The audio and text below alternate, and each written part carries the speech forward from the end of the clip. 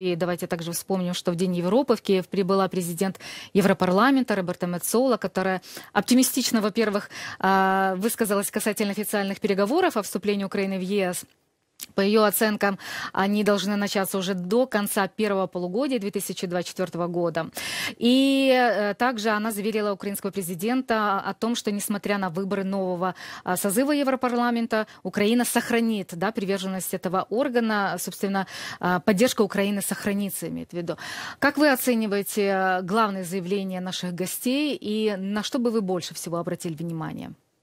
А, безусловно, крайне позитивно оцениваем, потому что это четко показывает не только заявления, но, собственно, и действия, четко показывает, что с Украиной продолжают солидаризироваться страны Европы и Европейского Союза подавляющее большинство этих стран четко понимает природу войны, понимает те риски, которые несет Российская Федерация европейскому континенту, и, соответственно, абсолютно независимо, и вот на это я бы обратил внимание, независимо от результатов выборов в Европарламент, которые состоятся в июне, а, на мой взгляд, там будет, опять же, подавляющее большинство депутатов, евродепутатов, которые точно будут во всем поддерживать Украину. Более того, сейчас эта поддержка, а, на мой взгляд, выглядит намного более объемно, намного более структурно, системно, и, соответственно, эта поддержка будет выражаться, если уже смотреть в небольшую э, проекцию на будущее, будет выражаться в резком наращивании инвестиций в военное производство в европейских странах, а для нас это важно, потому что американская поддержка — это ситуативно, здесь и сейчас, это то, что на складах находится, это отлично,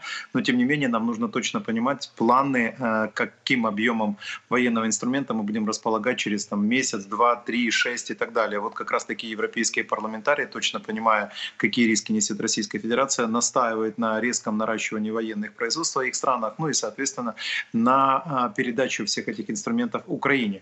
То есть, на мой взгляд, Европа изменилась, фундаментально изменилась, кардинально изменилась. Она гораздо более а, действенна сейчас, а, более точно понимает, что реальная политика, время так называемой реальной политики закончилось, что все вот это толерирование России, все вот эти заигрывания с Россией, все вот эти заходы в наблюдательные советы российских сырьевых компаний, э, бывших э, чиновников, э, бывших министров, там, канцлеров даже и так далее и тому подобное. Все это привело к фатальным последствиям. И, соответственно, сейчас ситуация кардинально иначе выглядит. А выглядит она следующим образом. Я бы три пункта выделил. Первое.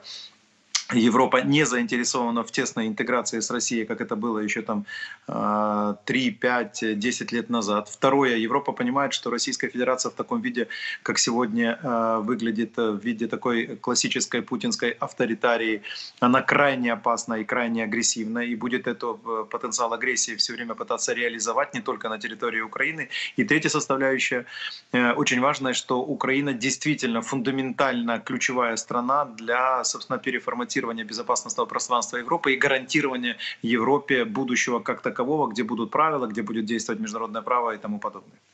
Ну касательно уточнения тогда официальных переговоров о вступлении Украины в ЕС, на что обратил внимание Роберто Мецола. Как известно, с 1 июля в Совете ЕС начинает период представительства Венгрии, а, поэтому она отметила, важно принять необходимое решение для этого еще при бельгийском а, председательстве. Какова вероятность вашей оценки? А, я думаю, что решения будут. Смотрите, независимо от того, что есть две страны в Европейском Союзе, которые там занимают особую позицию, имеют право, мы с вами понимаем, что в демократии не бывает единогласия по всем вопросам, что там всегда идут дискуссии. Кстати, та же Мицола об этом и говорит, что дискуссии всегда э, присутствуют, что нету э, такого, чтобы единогласно все сказали «да», без, опять же, еще раз подчеркиваю, без предварительных обсуждений. Но, тем не менее, независимо на то, что существуют вот эти отдельные особое мнение, тем не менее позиция Европейского Союза все более ужесточается с точки зрения необходимости действительно быстро проходить юридические переговорные процедуры и, соответственно, четко определить будущее Украины, будущее место Украины в едином европейском экономическом пространстве. Другой вопрос,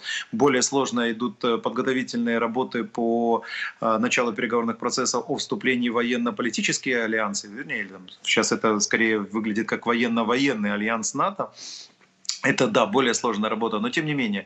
Тем не менее, я думаю, что вот эти стандартные процедуры будут быстро пройдены, и Украина начнет переговорные процессы абсолютно точно, как можно быстрее. Другой вопрос, будет ли как-то пытаться тормозить та же Венгрия э, при поддержке той же Словакии эти процессы? В какой-то степени да, но, на мой взгляд, опять же, Венгрия, давайте будем объективными, Венгрия точно так же заинтересована в процветании Европейского Союза, то есть в расширении рынков, в расширении возможностей, в расширении скажем так, торговых взаимоотношений внутри Европейского Союза. Да, она несколько своеобразно трактует сегодняшнюю роль Российской Федерации. К сожалению, не все понимают те фундаментальные э, базовые риски, которые Россия несет. Россия — это не торговый партнер, Россия — это вообще не идеологический, культурный партнер и так далее. Россия — это страна, которая всегда будет претендовать на доминирующие позиции, всегда будет пытаться унизить любого партнера. Рано или поздно она всегда приходит к этому. А, и, соответственно, к сожалению, вот эта неправильная трактовка роли а, России, она несколько оттеняет там, синхронизированное действие двух этих стран внутри Европейского Союза. Но, тем не менее, не вижу здесь никаких возможностей заблокировать для Украины и начало переговорного процесса, и его действенное и э, быстрое э, разрешение, ну и, соответственно, не вижу никакой возможности заблокировать осознание подавляющим большинством жителей Европы, что Украина это неизменная часть европейского пространства и прежде всего экономического, но точно так же информационного, и культурного, и политического, что это абсолютно суверенная страна, абсолютно субъектная страна, которая никакого отношения к России не имела. Да, была действительно в составе Советского Союза, но тем не менее и ментально, и культурно, и исторически это разные совершенно ветви цивилизации. Ну, раз уже начали говорить о Европе, на этой неделе также все наблюдали за трехдневным визитом лидера Китая в Европу. Как оцениваете результативность этого визита а, в контексте того, удалось ли а, президенту Франции Эммануэлю Макрону, конечно же, в паре и в этот раз, да, с главой Еврокомиссии Урсулой фон дер Ляйен, убедить а, лидера Китая, скажем так, повлиять на диктатора Путина а, в вопросе прекращения войны против Украины. Ну и, конечно же, не помогать России Российской Федерации. Были заявления, что власти Китая обязались воздержаться от продажи России любого оружия, будут строго контролировать экспорт товаров двойного назначения. Верите, Михаил? А, давайте шире посмотрим на эту проблему. Китай осторожен. Китай сейчас формирует для себя новое политическое позиционирование. То есть Китай гораздо более глобален, чем был до полномасштабного вторжения России. Китай самостоятелен. Китай э, заходит на то поле, в котором чувствует, чувствовал себя не совсем уверенно. Сейчас он пытается понять, как дальше действовать. Безусловно, э, там один, два, три диалога на уровне господина Шольца, господина Макрона, э, госпожи фон дер Ляйен, э, сразу получить э, Китай, который будет лоялен к проевропейскому российской позиции по войне в Украине, да, это тяжело. Ну, нужно продолжать это делать, нужно объяснять природу войны, причины войны, те риски, которые несет Китай в том числе, потому что, еще раз, Китай, тут я зафиксирую, Китай крайне заинтересован в стабильных правилах игры. Китай крайне заинтересован в прогностическом понимании, как будет развиваться и глобальная экономика, и глобальная политика. Да, Китай хочет сидеть за столом переговоров, за глобальным столом, определять эти правила, но тем не менее он не заинтересован в том, в чем заинтересована Россия. В хаотизации, в разрушении глобального э, миропорядка, в разрушении глобальных правил. Китай в этом точно не заинтересован. Более того, Китай абсолютно точно понимает, что Россия это нестабильный партнер, Наоборот, это партнер с нестабильной психикой, если так можно сказать, коллективная психика нестабильная, которая всегда будет генерировать риски, которая всегда будет уменьшать прибыльность от тех или иных договоренностей. Но Китаю необходимо вот это свое место зафиксировать. Еще раз подчеркиваю, он только выходит в эту новую для себя нишу, не только глобального экономического присутствия, но и глобального политического присутствия. Китаю нужно понять э, поле игры. И, соответственно, он заинтересован. Смотрите, Китай заинтересован, чрезвычайно заинтересован в теплых отношениях с теми или иными европейскими странами, потому что это доступ к высокотехнологическим рынкам, к рынкам э, с финансовым и так далее. Китай хочет иметь такую как бы трехстороннюю конфигурацию. Европейский Союз как самостоятельный большой игрок, Соединенные Штаты как самостоятельный большой игрок, Китай как самостоятельный большой игрок. Э, и, соответственно, пытается вот это все сейчас сконструировать. Будет ли Китай э, аккуратен по отношению к России? В какой-то степени да, это будет более аккуратная позиция сейчас, потому что, еще раз подчеркиваю, Китай точно не заинтересован в эскалации, в э, продолжении войны, в разрушении глобального порядка как такового, в разрушении правил. Но, тем не менее, будет ли он полностью отказываться сейчас от Российской Федерации? Нет, потому что как раз-таки вот это неадекватная позиция России, неадекватное поведение России как раз таки и привело к вот этому возможности Китая переформатировать глобальный миропорядок, ну то есть стать более влиятельной страной. А, но опять же, для того, чтобы понимать, как дальше будет развиваться ситуация, Китаю нужно осознать, что Россия это точно не путь созидания, а только путь разрушения И поэтому чем дольше Россия будет в таком состоянии находиться, в путинской итерации государства, тем больше будет издержек, в том числе для Китая, от попыток сохранить стабильность в мире. Да? Ну, то есть, грубо говоря, чем дальше война тянется, тем больше разрушительные последствия будут для всех стран, не только для Украины. То есть экономика будет просаживаться, финансы будут просаживаться, технологичность будет просаживаться, конфликтности будут нарастать, терроризм будет нарастать, э, появится больше, гораздо больше энтропии, нестабильного характера в, вообще в э, глобальных отношениях. И, соответственно, Китаю рано или поздно все равно придется принять решение, как быть по отношению к России. Россия, на мой взгляд, вот здесь очень важно, как раз-таки к этому нужно постепенно подходить. Россия должна быть изолирована. Но для того, чтобы Россия действительно была изолирована, это должен принять решение не клуб Рамштайн условный, да, который поддерживает Украину, а как раз-таки э, страны глобального юга, э, страны с нейтральным статусом, страны, которые относятся к той же системе БРИКС, где Россия является членом. Вот эти страны должны для себя принять решение, что Россия это, конечно, только риски, и только повышенные издержки, и только непрогнозируемые прогнозируемое будущее. Но опять же, с этим нужно работать, нужно разговаривать. И очень хорошо, что европейские лидеры приезжают в Пекин и встречи, проводят встречи э, в европейских столицах.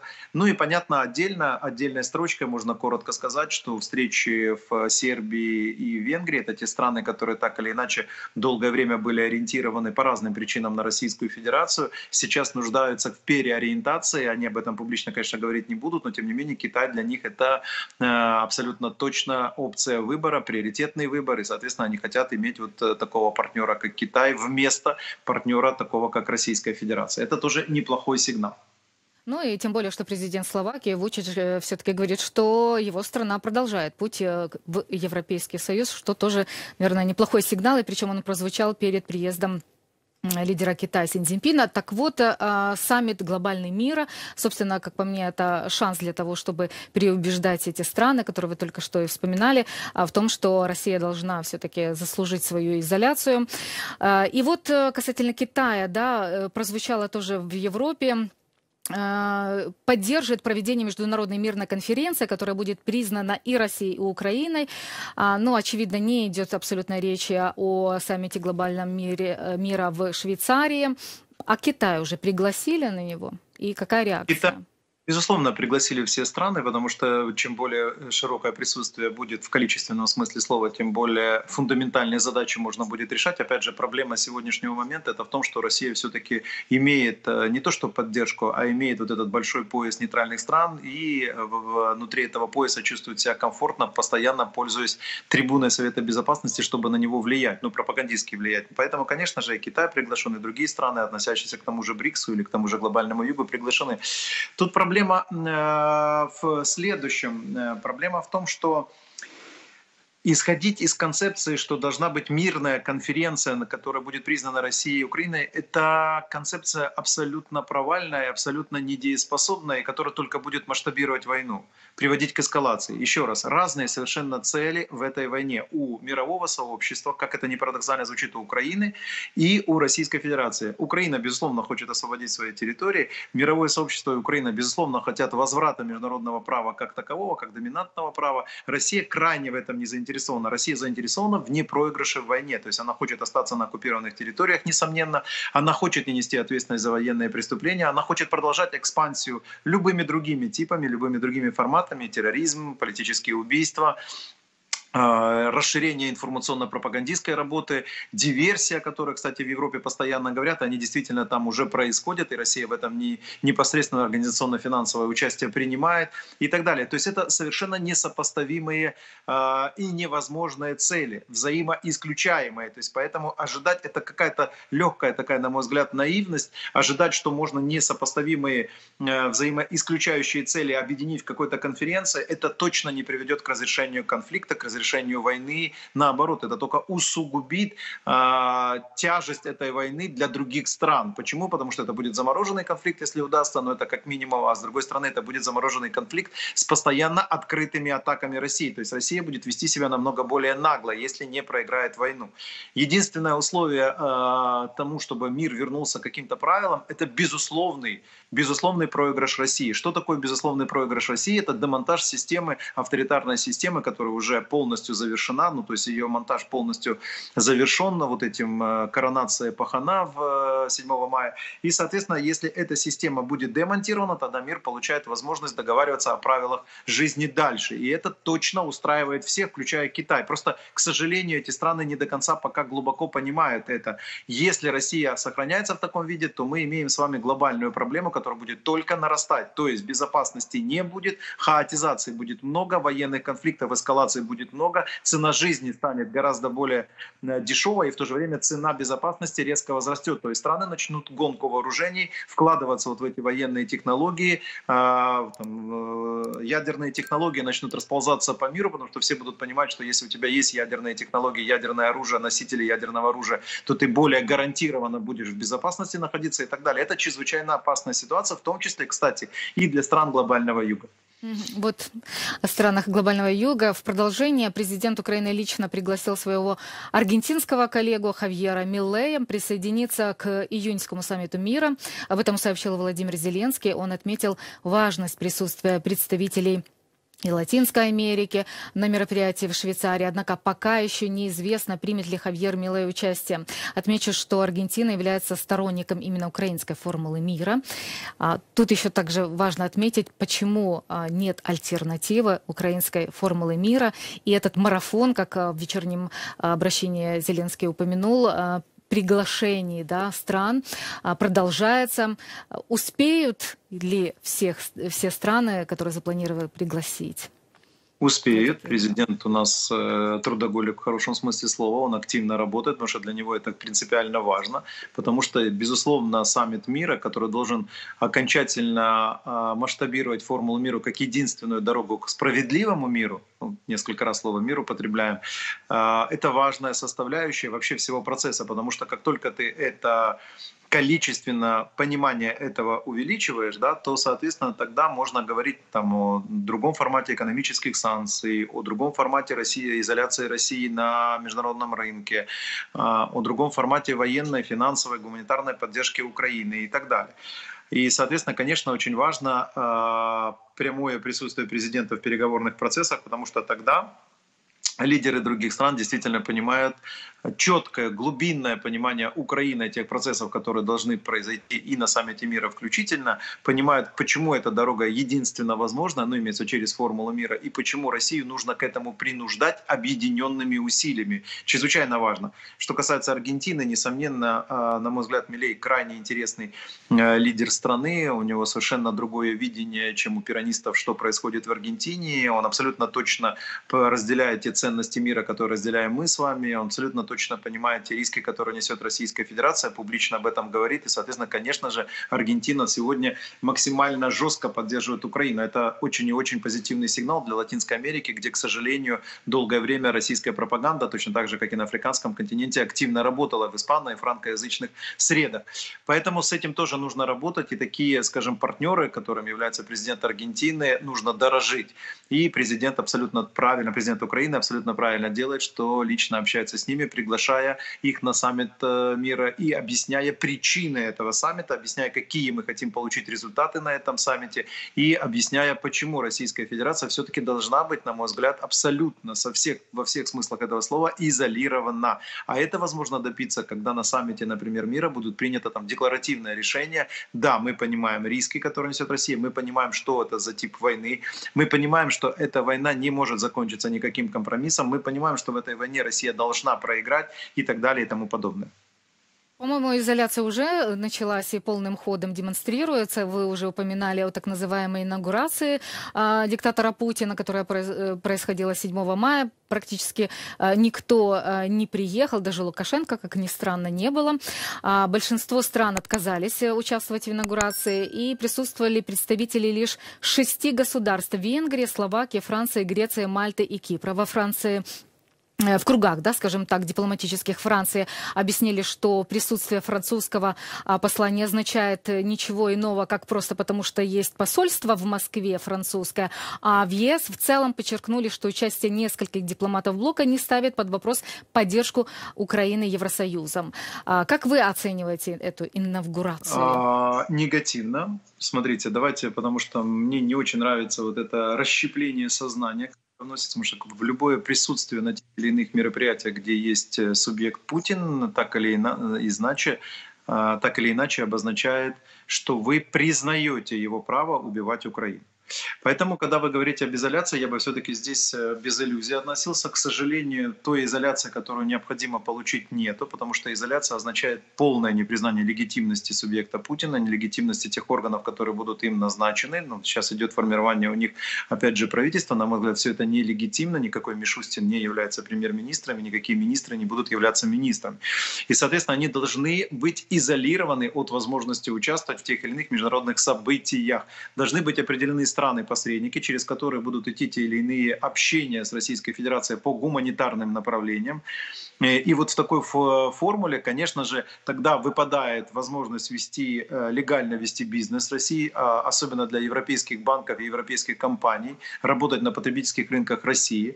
Дальше тогда а, абсолютно точно умирает вот это дивное, на мой взгляд, пропагандистская концепция «давайте запросим э, российских спортсменов под нейтральным флагом». Не бывает никаких спортсменов под нейтральными флагами, это граждане России. И, между прочим, на многих соревнованиях они себя ведут абсолютно вызывающе, они одевают, одеваются в российские формы, в российскими знаками, ходят везде э, и, соответственно, продвигают идею войны как таковой. То есть вот этого не хватает. Дальше российские культурные мероприятия должны быть остановлены везде, потому что, опять же, это все промоция войны и так далее. Присутствие стран. Давайте здесь будем корректными. Присутствие стран на инаугурации, а вернее на коронации Пахана четко означает, что они разделяют его легитимность, одобряют его тип ведения внутренней политики, э, одобряют то, что в России не существует электорального конкурентного политического поля, что там не было выборов, и что человек, который в принципе, э, скажем так, автоматически уничтожая оппонентов,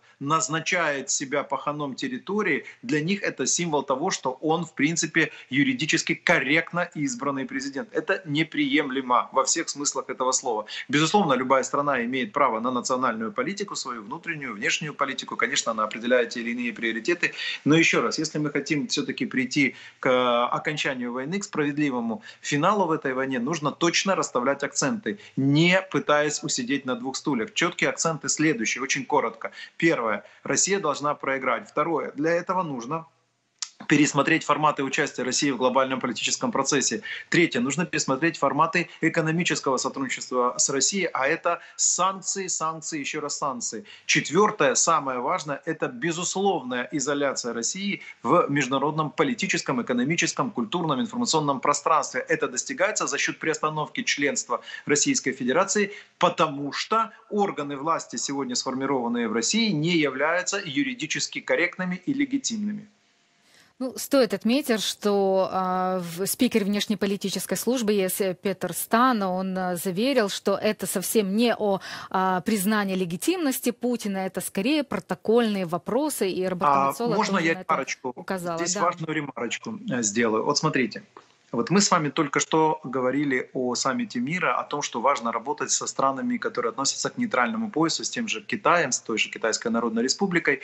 А, и, соответственно, теперь, какой сигнал они видят, когда присутствуют представители Европейского Союза, стран так называемого клуба «Рамштайн» на подобных мероприятиях? Это двойственный сигнал. Они точно, они и так нейтральную позицию занимают. И когда Россия может э, использовать Совет Безопасности ООН для постоянного э, промоутирования темы войны, когда кто-то приезжает официально встречается с Путиным или на его какие-то мероприятия, когда российские спортсмены появляется на Олимпиаде в Париже. Когда э, европейские банки с таким восторгом, пафосом, захлебываясь в собственной э, значимости, рассказывают о том, что они получили надприбыли 800 миллионов э, евро, заплатили прямых налогов в милитарный бюджет. Какой сигнал это дает нейтральным странам. Почему нейтральные страны, включая Китай, должны отказаться от сотрудничества с Россией? Почему они должны занять позицию, что эта война должна быть справедливо финализирована? То есть не бывает такого, вы не думайте, это мы не так э, должны интерпретировать, ничего подобного. Интерпретации всегда однозначны. Вы приехали, вы легитимизировали не более, но и не менее того. Последующие оправдания не играют никакой роли. Вот нужно так понимать то, что сейчас происходит, и, соответственно, требовать и от наших партнеров настаивать на том, что если мы хотим прийти к финалу в этой войне, к справедливому, это важное слово, к справедливому финалу, нужно не использовать вот эти двойственные методики. Тут сложно не согласиться, конечно же. Ну и вот а, использование Российской Федерации любых поводов, ну и, конечно же, исторически, в первую очередь. А, давайте вспомним и парад в Москве к 79-й годовщине победы СССР над Германией во Второй мировой войне а, был в этом году куда скромнее, чем даже в предыдущие годы. И поскольку российские войска массово задействованы на фронте, по Красной площади пришлось, а, прошлось только около 9 тысяч солдат, тогда как в прошлом году сообщалось о 10 тысячах. В этот раз не было ни расчетов боевых подразделений, за исключением одной железнодорожной бригады. Задействовали только курсантов военных вузов, представителей военной Полиция, Росгвардия, МЧС, а также отдельный расчет участников так называемой СВО, как и в прошлом году, собственно. А гостей на мероприятие тоже приехало мало. Кроме Путина, на Красной площади были президенты Беларуси, Казахстана, Кыргызстана, Таджикистана, а также Туркменистана и Узбекистана, которые прибыли в РФ на саммит э, Евразес.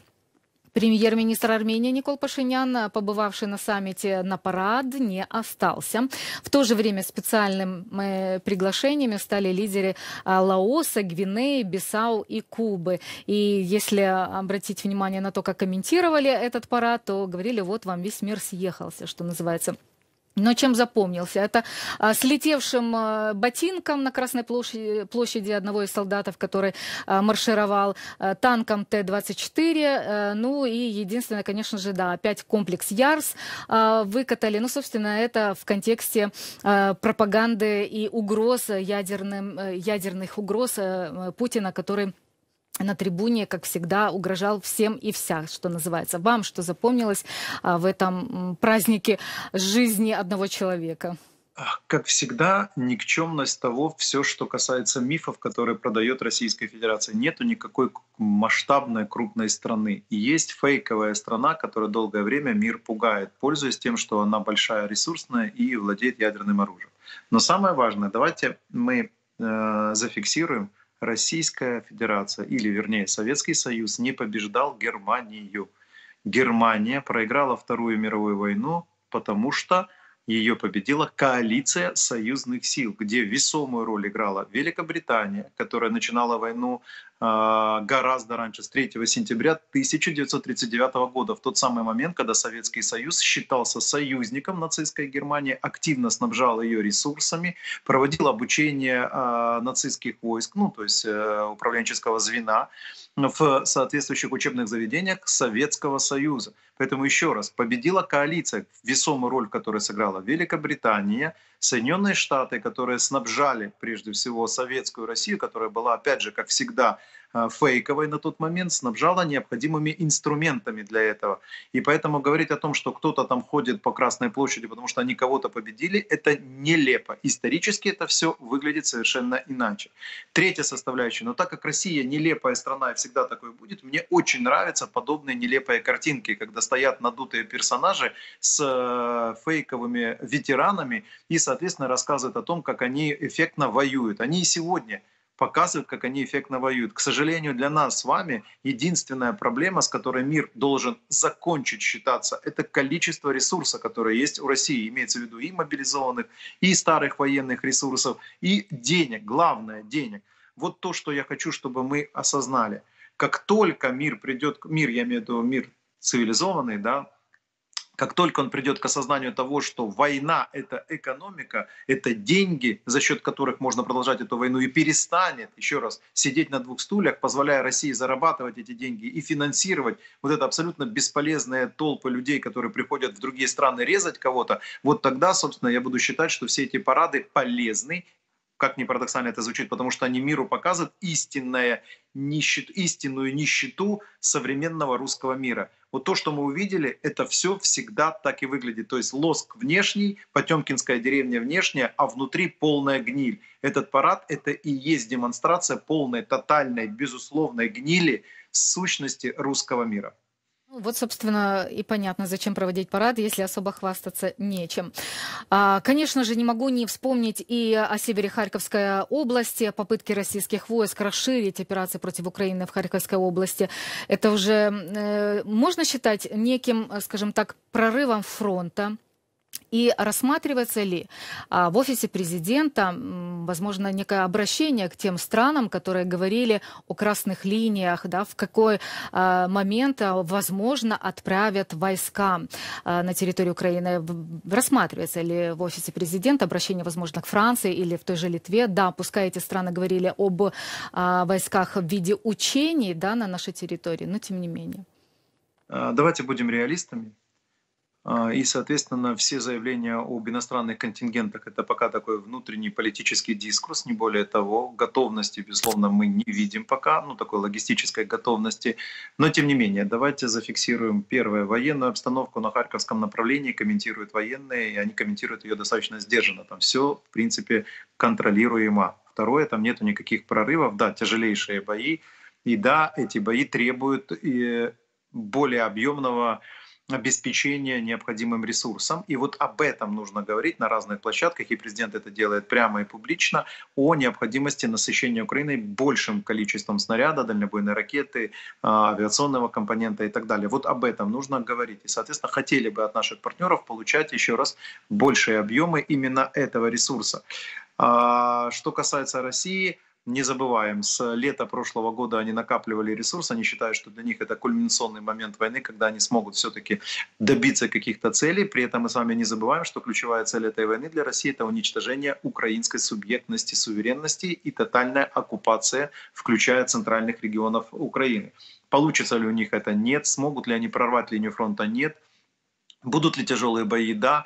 И будет ли иметь для э, необходимого отражения этих атак оборонительный инструмент Украина будет иметь? Будут ли наши партнеры наращивать это? Безусловно, будут. Э, и, соответственно, э, в какой-то момент вот этот критически накопленный ресурс России будет иссякать, а критически накопленный ресурс Украины будет только в большем объеме. И, соответственно, тогда мы будем видеть по линии фронта другую ситуацию. Что касается, вернусь к изначальному вопросу о контингентах, мы можем, конечно, дискутировать, можем там проводить э, консультации с нашими партнерами, но, на мой взгляд, это тяжелый вопрос, который, в принципе, будет тяжело дискутироваться в национальных сообществах тех стран, которые даже инициативно об этом говорят. Я имею в виду Францию, я имею в виду другие страны Восточной Европы и так далее.